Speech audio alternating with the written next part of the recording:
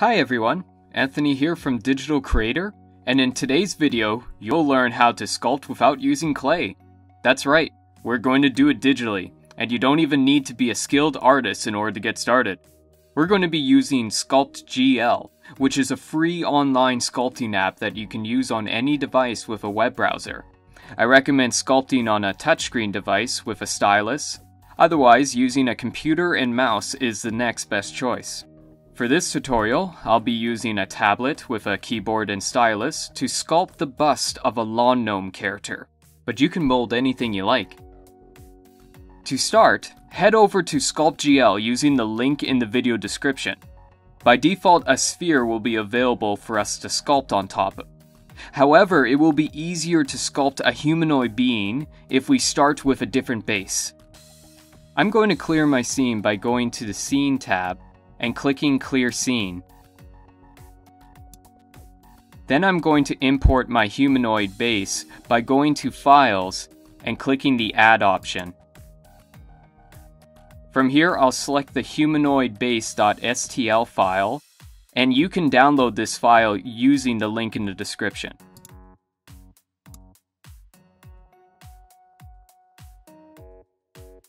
Now before we start sculpting, let's go over how to navigate within SculptGL's interface. To rotate our view, click or tap or drag anywhere within our scene that isn't our model. Zoom in and out using your mouse's scroll wheel, or tap and pinch the screen with two fingers if you're using a touchscreen device.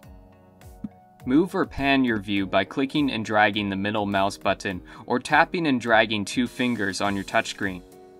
If you ever need to reset your view to the way it was, go to the Camera tab and click the Reset option. Now we're ready to start sculpting. With the brush tool selected under the sculpting and painting options, you can click and drag on your base to start building it up.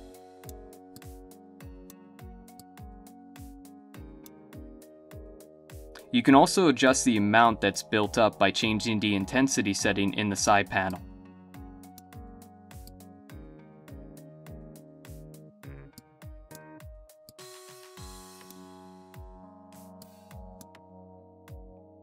Increase or decrease the size of the affected area by changing the radius in the side panel as well.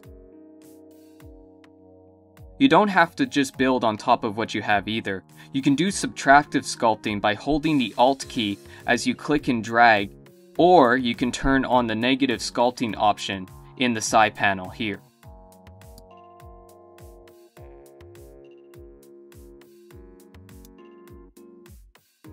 And of course, if you make any mistakes, you can undo and redo your last action by going to the History tab and clicking Undo or Redo.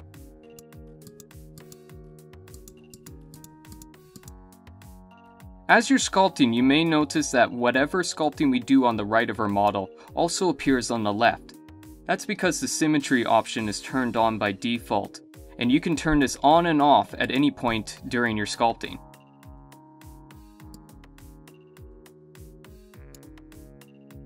If at any time you wish to save your sculpture for working on in the future, go to the Files tab and click on Save.sgl. This file that you download can be ported into a future session by using the File Add option. You now know everything you need to know to start sculpting. For the next while, I'm going to show you sped up footage of me sculpting my gnome character before I go into how to digitally paint your own sculpture. Alright, here we go.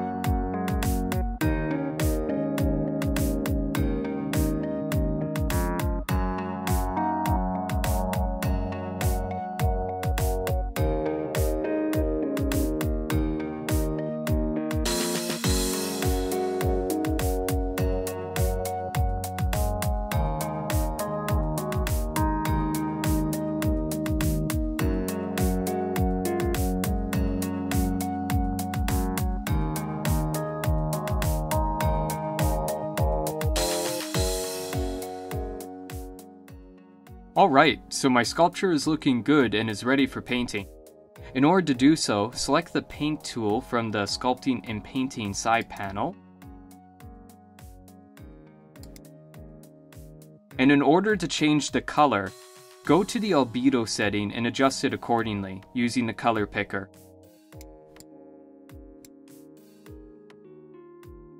Now you can start clicking and dragging on your sculpture to fill it with that color. And of course, you can go back to the albedo option to change it to a different color. If you want to use a color that you've used previously, turn on the color picker option in the side panel and then select the color that's available on your model. Then go right back to painting as you'd like.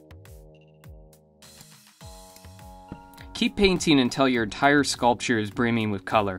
If you want to go back and make some changes to your sculpt, you can just select the brush tool again and make your edits as desired.